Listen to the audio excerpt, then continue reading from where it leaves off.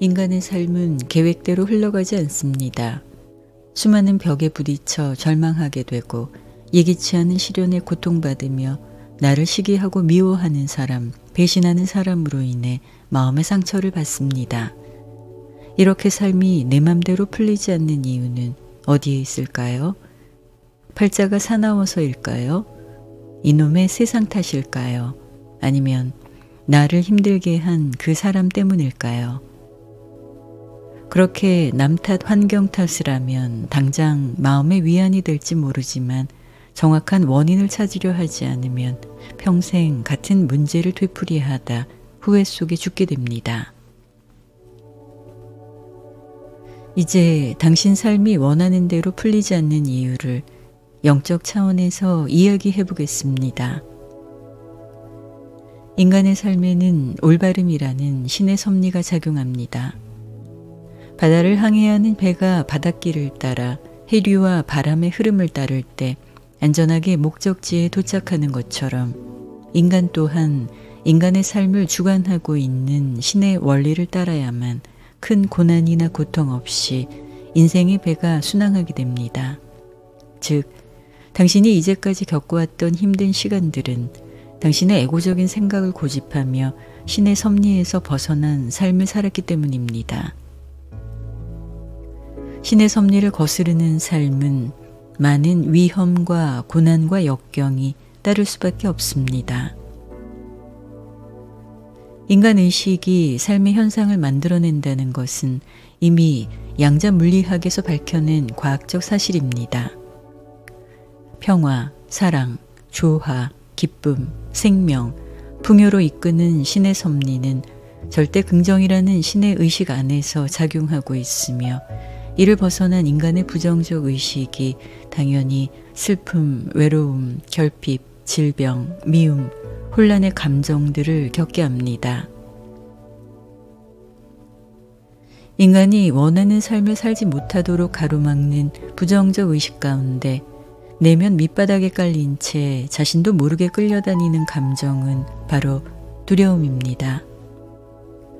두려움은 생존하고자 하는 동물적 욕구에서 비롯된 매우 강력한 감정입니다.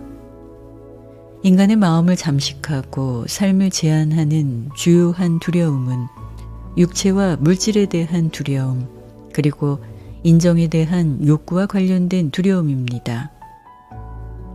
이제 이 두려움들을 영적 차원에서 어떻게 극복이 가능한지 알려드리겠습니다.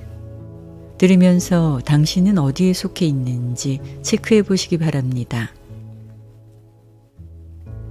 가장 먼저 육체와 관련된 두려움은 병들고 늙는 것, 그리고 죽음에 대한 두려움과 공포입니다.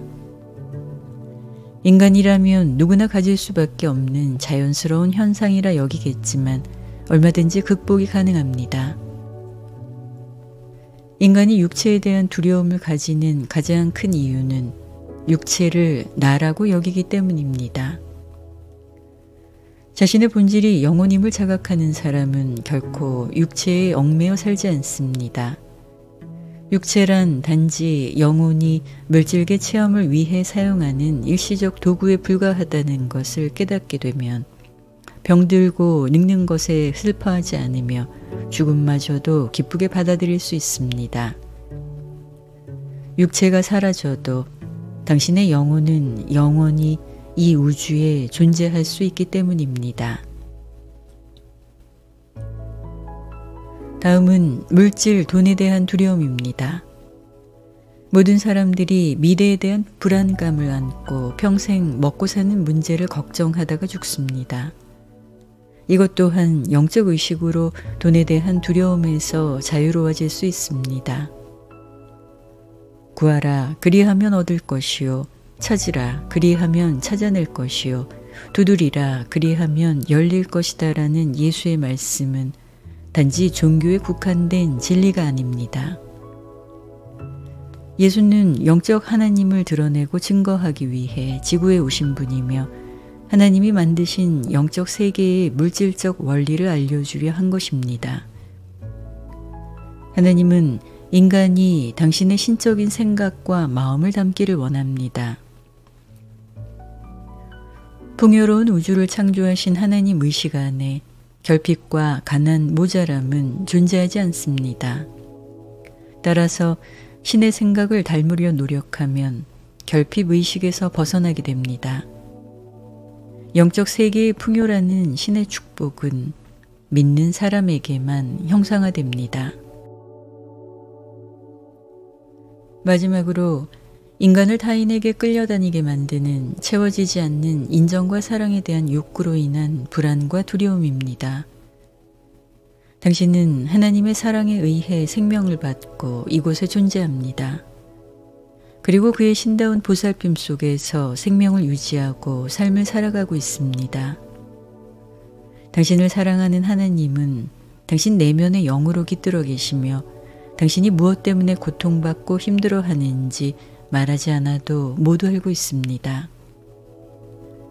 신이 당신 내면에 깃든 목적은 당신의 영혼이 올바름이라는 영적 열매를 맺도록 당신을 인도하기 위해서입니다.